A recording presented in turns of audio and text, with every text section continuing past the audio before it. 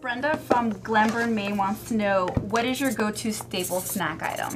Hi, Brenda. Um, snack. So, um, God, that's a really good question. So, I um, I'm really uh, obsessed with burgers. Okay, so uh, we have a burger store uh, in Vegas, and uh, it's just an amazing process to nail a beautiful burger. Um, so once I've trained and I've uh, you know burnt nine, ten thousand calories, and I've come off a big swim or a cycle uh, for four or five hours, I will literally go to a drive-through In-N-Out, and uh, I'll wind the window down uh, and I'll ask for a double double. Uh, animal style, and uh, they recognise me, and they give me lots of extras. That's great. So I just stack them, jump in the back seat, and eat them on my own.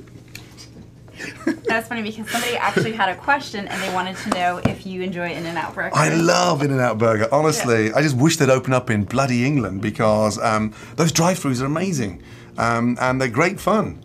So um, yeah, I uh, I love them. I leant through the kiosk once to do a selfie and literally fell through and actually ended up inside the In-N-Out Burger doing a selfie because they, they wanted a quick picture. Very funny.